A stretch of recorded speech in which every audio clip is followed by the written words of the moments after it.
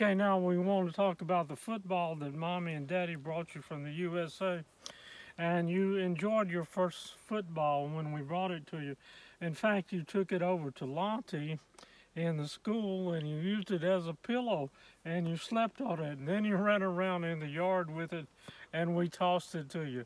Can you catch it now, Otto? Can you move it this way? Are you ready? Here you go. Now toss it back to daddy.